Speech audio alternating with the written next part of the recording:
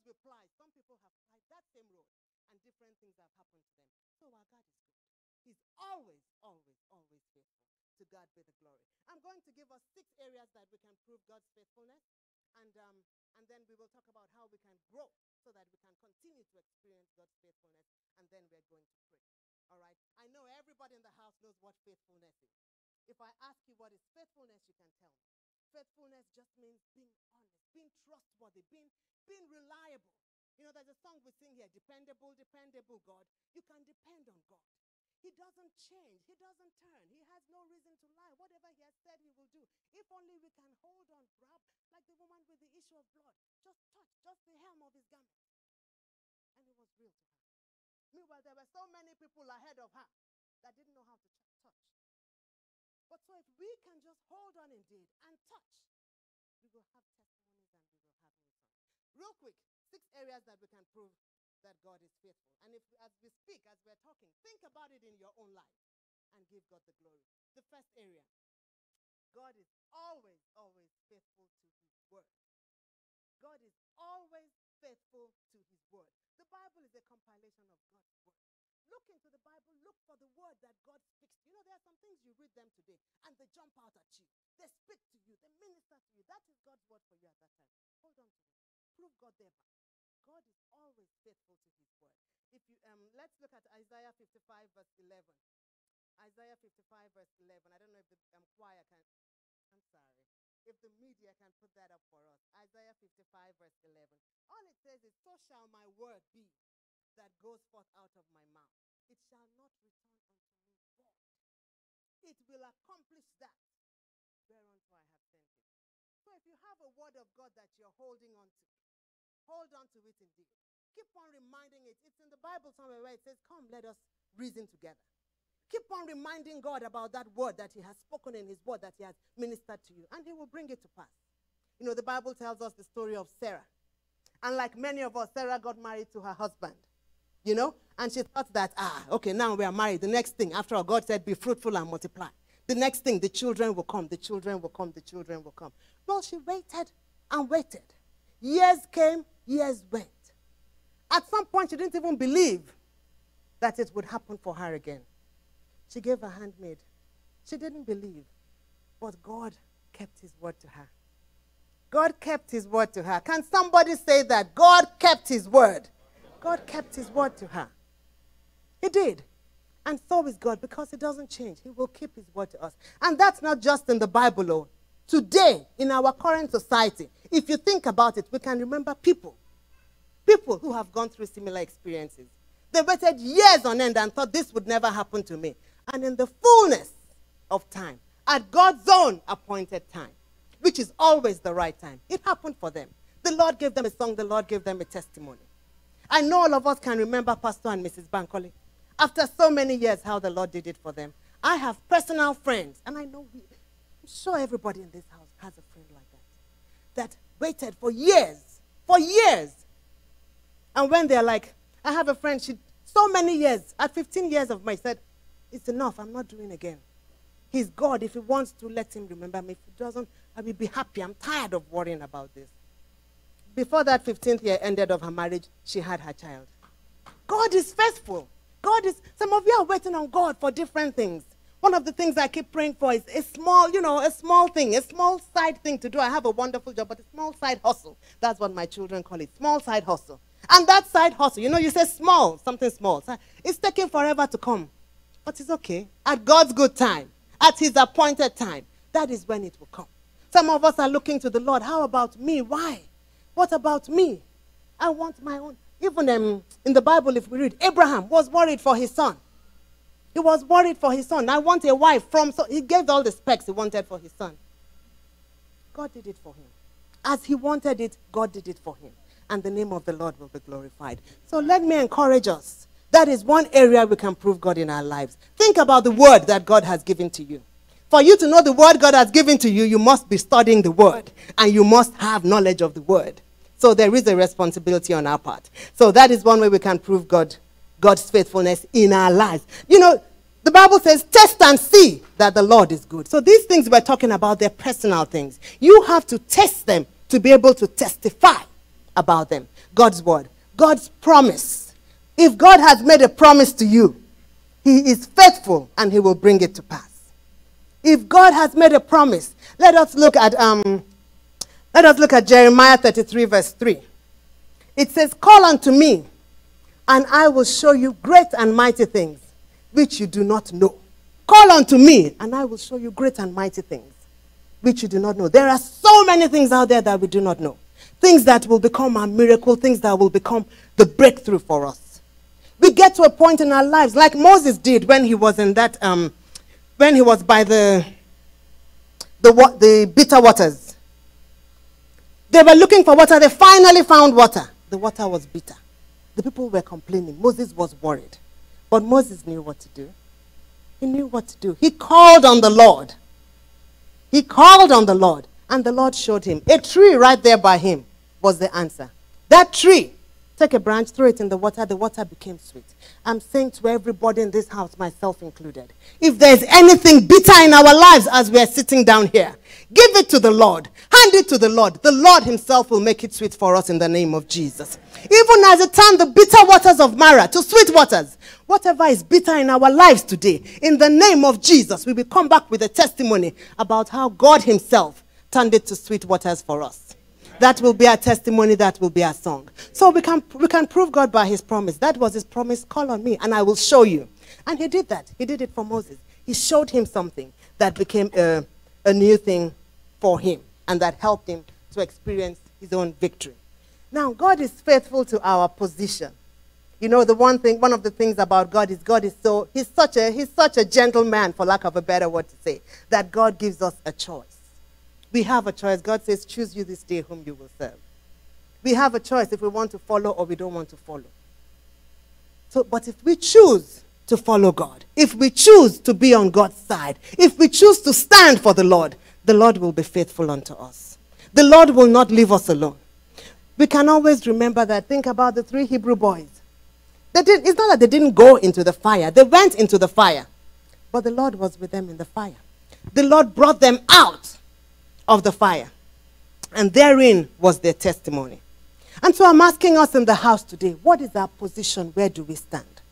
Are we standing on the Lord's side or are we standing on the side of the society? Sometimes the society is not on the Lord's side, you know. Many of us can, can testify about that. So many things that the Lord has said, these things are not right. See, when I was a little girl, growing up, I grew up in Nigeria. There was a part of Lagos, they called it Campos Square. And that Campos Square, um, you had to pass by it to go from my grandma to another of her friend's house that we often went to. But in that Campos Square, was known for boys that would stay there and be smoking weed. They call them in my language, my grandmother would never let us go by there because those were bad boys. Boys you didn't want to be around. They were good for nothing boys. Like what they call area boys now. But today we live in a society that is legalizing weed. Today we live in a society that says there's nothing wrong with smoking weed. There are some states we go to where weed is legal just like you smoke cigarettes, you smoke weed. And we know that these things are not good for us. Now, whose side are we on? As a Christian, are you going to say, ah, if I sell this weed, I can make so much money? Which that's what some people are doing. Are you going to go into that because of the money you can make, because of the business opportunity? Or are you going to stand on the Lord's side? The Bible says, the earth and the fullness thereof belongs to the Lord. Why must we give up the word of the Lord? Why must we forget the word of the Lord because we are looking for money? No matter what we are going through, no matter what is going on, if we stand on the Lord's side, believing in the Lord, trusting in the Lord, holding on to Him, the Lord will be faithful unto us. He will give us a new song, He will give us a testimony. He will fight for us. But we have to have the courage. We have to make the choice that we're going to stand with the Lord. So that's another area we can prove the Lord. We've said through now, we can prove him through his word, we can, through him by, we can prove him by his promises, and we can prove him by the position, the stance we ourselves take. When we think of God's faithfulness, like we said this morning, God is so, so faithful in protecting us. Everybody here can testify to that. The fact that you're here this morning shows that God has been protecting you. You know, you drove from your home to the church. You've been driving from your home to work. You've been driving from work to other places.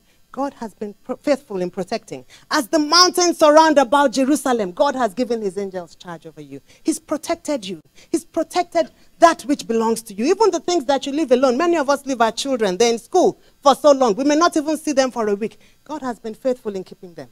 Even we ourselves, God has been faithful in keeping us. That is just the way God is. You know, in um,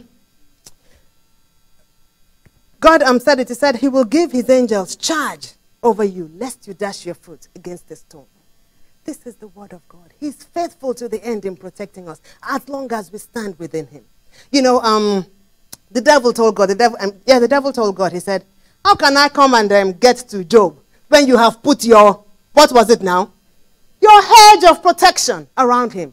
He told God, He said, If you take down your hedge, then I'll be able to reach him. There is a hedge of God that is around us. There is a hedge of God that is around our loved ones. There is a hedge of God that is around everything that, that belongs to the Lord. So let us commit ourselves unto the Lord. Let us look up to Him. Let us hold on to Him because He will be faithful in protecting us. And th- therein will we have our testimony. God is faithful in protecting us. One of the um, things that I like to prove God with is forgiveness. How many of us can sit here and say we have not sinned? Huh? The Bible says if we say that we have not sinned, we're a liar, the truth is not in us. The Bible says all have sinned and come short of the glory of God. If God were to judge, how many of us would be able to stand? We all sin. You know, there are some things we call white lies, small lies. There's no white lie in the throne before God. A lie is a lie. That's all God. That God said, "Thou shalt not lie." Period. Thou shalt not steal. Whether it is small or it is, you know, when I was um, teaching, we had some, we had those children. They will say to you sometimes, well, I mean, there's something called finders keepers. I didn't steal it. I found it, so I'm keeping it. There's nothing like finders keepers or finders keepers is stealing. If it doesn't belong to you and you take it, it's stealing. That is a sin. That is a sin. You know, the, some of the little things we do when we sit down with our girls, we sit down with our guys, and we're gossiping, we're backbiting, we're saying malicious things about other people. That is sin. That is sin. Many of us think as long as I'm not, I haven't killed somebody, as long as I'm not committing fornication, committing adultery, as long as I'm not, you know, the big ones, I'm not sinning. It's a lie. It's a lie. it's a lie. Bible, um, Pastor taught us so well about the strife of tongues. When we go ahead of ourselves, go and be trying to spoil somebody else, saying all kinds of things. That, that is the strife of tongues. God hates it. That is the sin. That is the sin. All of us sin in different ways every day. Different manners of sins we all commit every day. Yet, God is faithful. Yet, God is faithful. He keeps forgiving us. We commit the sin. Sometimes we remember, we remember the sin and we say, Ah, Father, forgive me. Father, forgive me. He's God now. He's good. He will forgive us. There are even some sins that we commit that the Bible says there are those sins that doth easily beset us. We don't even know they are sins anymore. So when we get with our girls and we begin to do what we call gisting, or we get with our boys and we begin to drink, they're sinning. But they, they have so easily beset us, we don't even realize they're sins anymore. But they are sins. And through all of this, God continues to forgive us. God continues to cleanse us. You know, the Bible says, while we were yet in sin, God sent Jesus Christ to come and die for us. Oh, has anybody experienced God's forgiveness of sin in their lives? If you've experienced the forgiveness of God in your life, just shout a big thank you, thank you, Lord. Thank you, Lord. He's forgiven us on every side. Ah, He's forgiven us. Hmm. And this is one of the areas that we know that God is faithful. Because we know, if we are honest, we know that we sin. We continue to sin, yet He continues to forgive us. You know, First John 1 9 says, if we confess our sins, He's faithful and just to forgive us our sins and to cleanse us from all unrighteousness. Those are the sins that we confess. How about the sins that we do not confess? And what is so bad about sin is that the Bible tells us in Isaiah 59, it says that your iniquities have separated you. So it is those little sins that we commit. Those sins that we just, you know, carelessly, we keep on committing. They're the things that are separating us from God. They're the things that God cannot behold. The Bible says God's eyes are pure. He cannot behold iniquity. So the more we are committing sins, some of them we don't even know. It's separating us, separating us, separating us from God. But if we go back to the book of Genesis, God tells, the Bible tells us that God loves us. He wants to have fellowship with us. And so even though God will come down in the morning or in the evening to come and have fellowship with his creation, with his creature, with Adam and Eve to come and have fellowship with us. So even though our sins continue to separate us from God, God loves us still. God wants to have fellowship with us. God wants to be in our lives, wants to be an active part of our lives. So what did God do about that? What did God do about that? He cannot, he cannot forsake us. We are the work of his hands. He loves us too much. And so God sent his only begotten son. Before we were born at all, before we were created, God already had a plan. He sent his son, Jesus Christ, to come and die for us. He sent Jesus Christ to come into this world that he will bear the sins of the world and will set us free.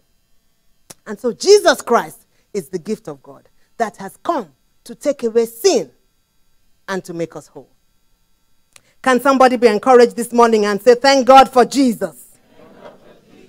Thank God for Jesus.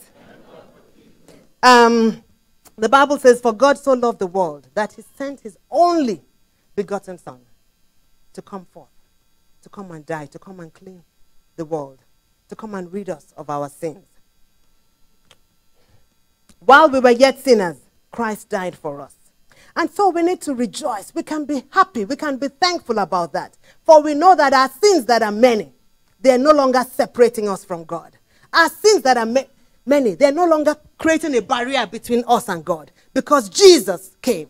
Because Jesus came, He took away all this. The Bible says that when Jesus gave up the ghost, the veil that was between, that was covering the Holy of Holies, that veil tore from the top to the bottom so that we will be able to come boldly, directly to God. It is because Jesus died that we can say, God is our Father. So Jesus Christ is the gift of God that came into the world to take away our sins, to help us, make us whole, that we will, we will be able to continue going before God and continue to experience the faithfulness of God even in our lives. That is what it is. I know right now Christmas is coming.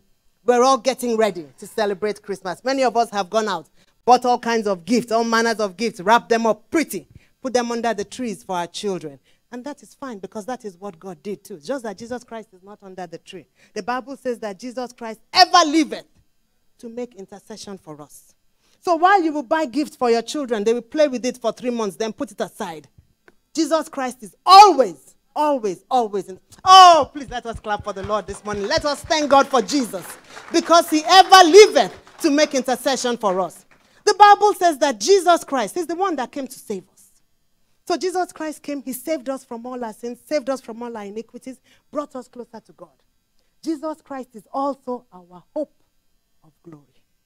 So as we continue living our lives, because Jesus Christ has come and has gone ahead of us, we don't need to be afraid. We don't need to be worried because we know that Jesus is interceding for us. Jesus is helping us. He is praying for us. The Holy Spirit is with us. And we know that because they are with us and ahead of us, it is bound to be well with us.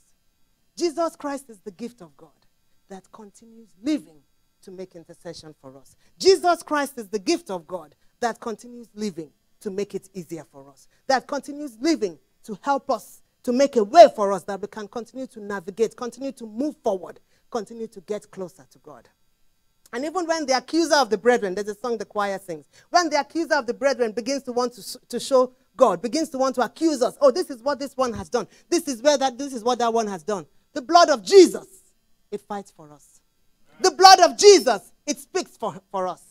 The blood of Jesus continues to make, it continues to avail. That's what the Bible continues to avail for us. And so we thank God, even at this Christmas time. I don't want us to be worried or to be upset. Oh, I didn't get this goal. I didn't get that goal. I didn't, my job didn't come through for me. My little side hustle is not yet a reality. My, all of those things are nothing. We can be, we can be excited because Jesus has come. We can be excited because we know that as we enter into 2020 and beyond, Jesus has even gone ahead of us. And we know that even as he has gone ahead of us, what is it? He's making a way for us. Doors, new doors will be open unto us. New visions, new messages will we receive. And we know that as we continue to go, it is bound to be better for us tomorrow than it is today to the glory of the living God. That is what Jesus has come to do. That is God's plans for. I mean, that is what God, God plans for us. I believe it's Jeremiah 29, verse 11. It says that I know the plans that I have for you, the thoughts I have for you. They're good thoughts, thoughts to prosper you, to give you hope and an expected end. That our end will be good. I'm here to tell somebody this morning that it doesn't matter what you're going through. It doesn't matter that difficulty you're going through. I'm speaking to my, my, my friend who, whose husband was buried yesterday. The Bible says all things work together for good. All things work together for good. Right now, there is a covering, there is a mist. We cannot see because we're focused on what hasn't happened. We're focused on that difficulty we're walking through. But in the fullness of time, when God reveals it to us, we will find that indeed all things work together for good. And that is when we will be able to really say, To God be the glory. I do not believe that is everything that we can say thank you, God, for. Because I don't know how she will ever be able to say thank you. I'm happy that my husband died. I don't think she will ever be able to say that. But I know God will take her to a place where she will be able to say, To God be the glory. To God be the glory. To God be the glory. Because it's not our it's not our ways. It's not what we want. It's what God wants for us. And so we give God, in all things, God will give us the grace to be able to give Him the glory. Because our God is always faithful. Our God is always faithful. You know, when we talk about God being always faithful, there is a story that I just love out of the Bible. And I don't know if, um, well, it's, it's the story of Moses. It's found in Genesis, Genesis 24 not Moses, Abraham, Genesis 24. Abraham was looking for a wife for his son. I think we, we, we alluded to that earlier. He was getting old. His wife had died. He wanted, he had a, a, a real desire for his son to marry a certain type of person. So he called the head of his household, Eliezer, and sent Eliezer to go where he wanted, wanted him to go to go look for a wife for his son. Eliezer said, But what if I go and, you know, it doesn't work out the way you want it to, to work out? Abraham told him, he said, if the media will pro pro project it for us, and I believe it's Genesis 24, Genesis 24, verse 40. I think that's what it is. Genesis 24, verse 40. Do you have that? Okay, and this is Eliezer repeating what he said. Look at what he said. He said, This is Abraham talking to Eliezer. He said, The God before whom I walk will send his angel with you and prosper your way. Can somebody say that? The God before whom I walk will send his angel with you and prosper your way. You haven't, he hasn't even begun the journey, but he knows his God so well.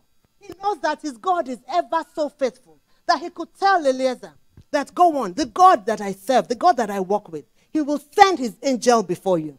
And that angel will prosper your way so that you will just go there and you will just get what you're looking for because that angel has gone to prosper the way. Can I tell someone in this house this day?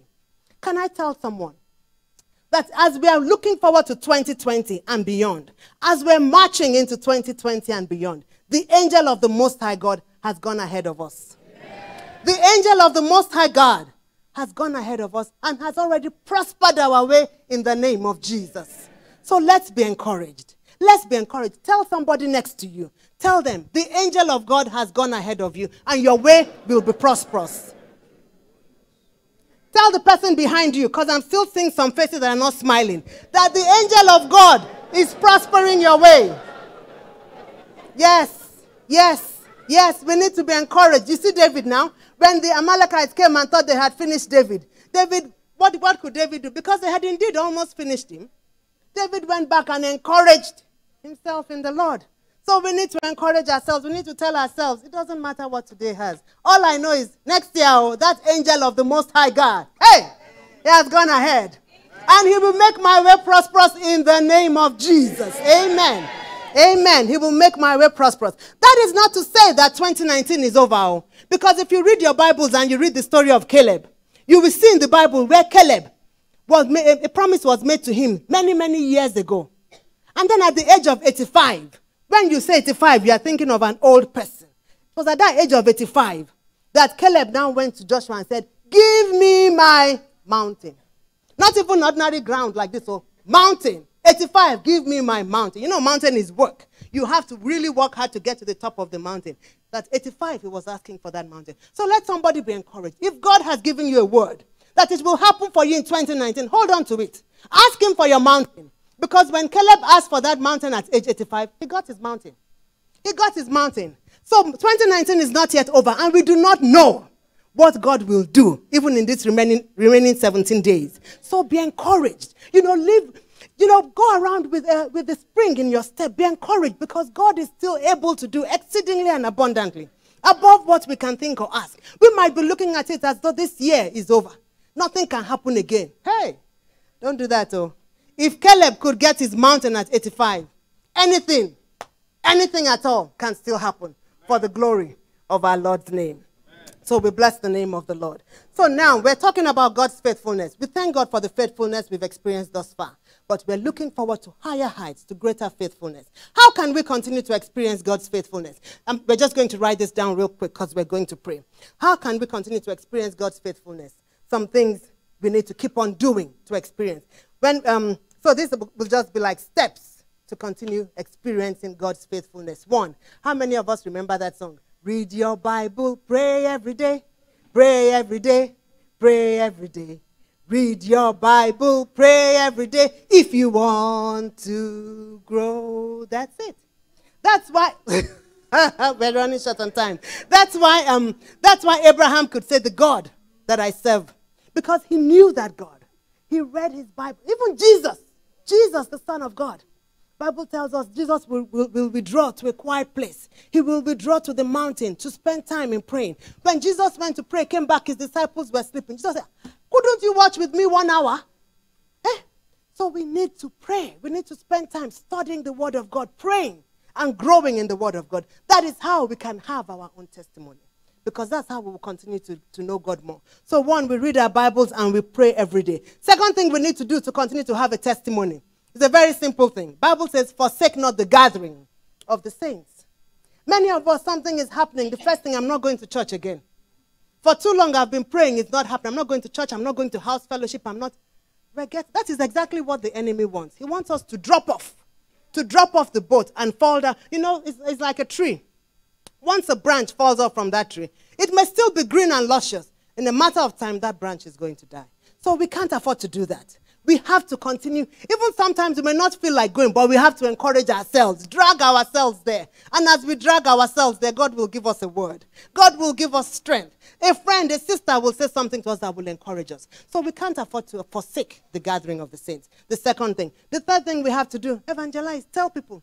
The woman that was brought, um, that Jesus met, that met Jesus at the well, she didn't know Jesus. But by the time Jesus said things to her, she had no choice but to go and tell other people. So tell people about this God that you know. Encourage people about what this God is doing in your life. Just as you tell people, you will find that you are awakening, awakening that faith in yourself. Tell people about God. Tell people about God. The other thing, the fourth thing that I have down is give. You know, God loved us so much. Even though we were in sin, and the sin was covering us, was covering God from us, God now gave his son that nothing will stand between him and us. And that's why we are free. It's not by our works, it's by the gift of God, it's by the grace of God. In like manner, let us give. Sometimes what you have to give is a word in season, a kind word to somebody. Sometimes what you have to give is a smile to somebody who is hurting. But give, give from the depths of your heart, give cheerfully. And if you have resources, because the Lord will bless us all. When the Lord blesses and our resources come up, let us give to the work of God. You see, I can talk to you here and I can stand here and talk to you one on one. But the money that I give can go and touch a heart in China, can go and touch a life in Russia, can go and so give, give to the word of to the work of God. And as you give, God will remember because the Bible says that He's the one that that uh, that will come and reward us. The Bible says our labors will not be forgotten by Him. So give. That's how we can continue to grow and experience God's faithfulness. Those are the, the main things that we have to do to continue to grow so that we can continue to have testimonies of God's faithfulness. Has God been good to somebody in this house today? Has anybody been blessed by this word this day? Has it been a word in season for somebody today? And I pray that the Lord will continue to have his way in our lives all the days of our lives. we're going to take two prayer points. We're going to take two prayer points. If you will please rise up, let's take two prayer points. The very first prayer point God loved us so much, He sent His Son, Jesus Christ, to come. Jesus is now the gift that continues to give. Jesus is the gift that has become a blessing to the world. And so I want us to pray that in my life, oh God, let Jesus be real. The Bible talks about us being conformed to the image of Christ. I want us to pray that, Father, let my life be a sacrifice unto you. Let my life be conformed to the image of Christ. Not what I want, but what you want for me, O God. Father, help me to grow in the image of Christ Jesus, our Lord. Let begin to pray, begin to pray, begin to pray. Pray that the Lord will help you, that you will be more and more like Jesus. Pray that God will live on the inside of us and He will help us to love as Jesus loved. He will help us to walk as Jesus walked. He will help us to have faith even as Jesus did.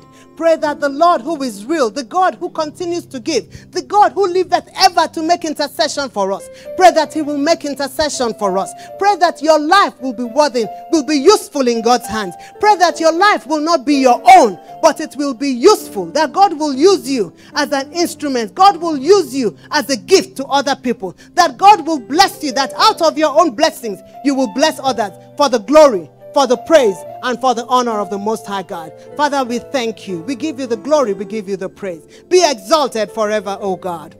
For in Jesus' mighty name we pray.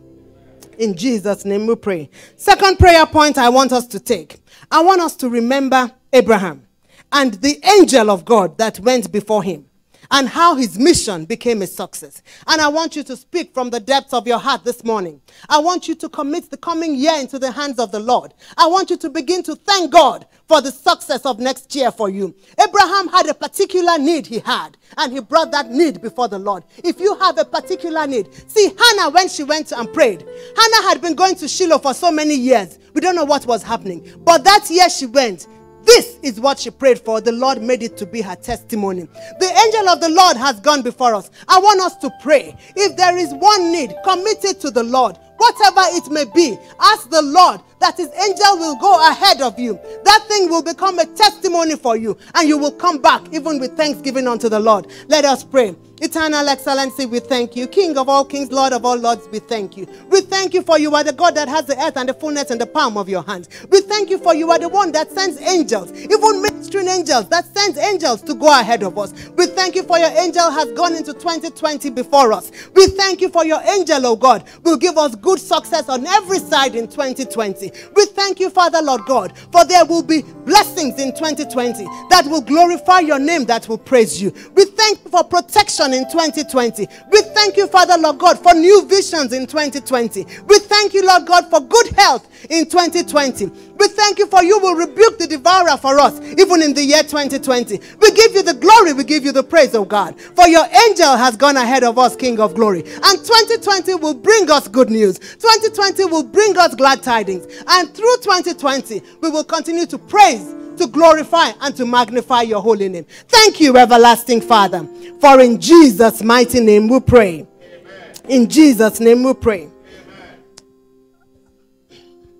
And we're running short on time now. You know, in the book of um, Revelation 12 11, it says that they overcame him by the blood of the Lamb and by the word of our testimony. My prayer for us this morning is that indeed, God who has gone ahead of us, God who has sent his angel ahead of us, he alone will give us a testimony because we need that testimony to overcome. And I also pray that in all things and in all ways, even this house that we are in, God will give this our house, this our church, City of David, new testimonies in the name of Jesus. In the name of Jesus. If the if the if the if the media can can project um, 1 Thessalonians 5:24 in the International Standard Version, 1 Thessalonians 5:24 in the International Standard Version. I want us to just read that one more time and then we'll close with that. 1 Thessalonians no, 1 Thessalonians 5:24 International Standard Version. Okay. So 1 Thessalonians 5 um, IS International Standard Version says um, it says faithful he who calls you is faithful and he will continue to be faithful. He who calls you is faithful and he will continue to be faithful. I want you to turn to your neighbor and encourage that person and say to that person, He who calls you is faithful, and he will continue to be faithful to you. Amen. Amen. And now I want you to point at yourself. And I want you to put, instead of you to say me, I want you to say, He who calls me is faithful. And he will continue to be faithful to me. Amen. Amen. Amen. Let us pray. Eternal Excellency, we thank you for today. We thank you, Father, Lord God, for your word. The Bible says that the entrance of your word brings understanding brings light and understanding to the simple. Father, Lord God, we pray that your word that has gone forth, oh God, will indeed bring understanding to us and will indeed be light unto us. We pray, Father, Lord God, that as we go forth, that your word will continue to do us good. Give us new testimonies every day, oh God. Help us to see and experience your faithfulness every day, oh God, that we will continue to rejoice in you and we will continue to praise your holy name. Blessed be your name forever, O God. For in Jesus' mighty name we pray. Amen. In Jesus' name we pray. Praise the Lord. I pray, I, I hope that somebody will.